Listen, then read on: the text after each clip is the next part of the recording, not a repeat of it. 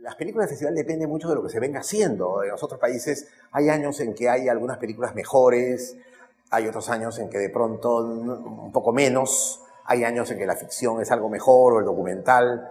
Por ejemplo, este año hemos visto algunos documentales bien interesantes, pero también algunas películas de ficción valiosas.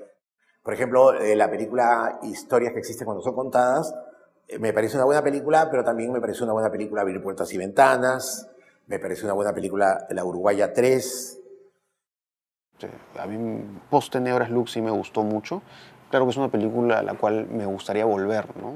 me, gustaría verla eh, y, bueno, a ver si, si, mi percepción de la película cambia. ¿no? La Cirga me parece una película que tiene momentos buenísimos, ¿no? fotográficamente hablando sobre todo, ¿no? estas imágenes brumosas. ¿no? El estudiante me gustó mucho, ¿no? además que tiene toda esta toda esta dinámica de crónica, ¿no? de seguir al personaje sumergido en la política y no más bien en lo que dice el nombre de la película, ¿no? el estudiante. ¿no? Lo que menos hace el protagonista del estudiante es estudiar. ¿no? Bueno, de la competencia, la que más me impresionó fue Post Tenebras Luz de Carlos Regadas, pero también me gustó mucho Chicama, eh, La Sirga, El Estudiante y la película brasileña que ganó el primer premio, eh, creo que se llama historias que solo existen cuando son contadas.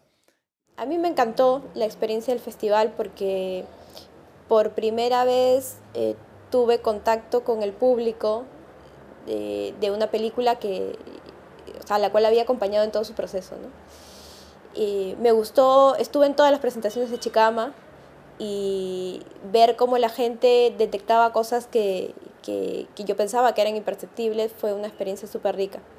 Chicama es una película de propuesta autoral, ¿no? con, con una propuesta que al principio pensamos que tal vez no podría ser empática con las personas. Descubrir eso fue muy, muy, muy, muy chévere para todo el equipo.